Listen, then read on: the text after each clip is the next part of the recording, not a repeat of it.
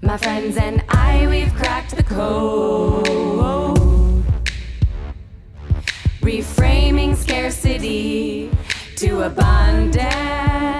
And everyone who knows us knows that we think in systems to create win wins. So everybody's like, draw down carbon,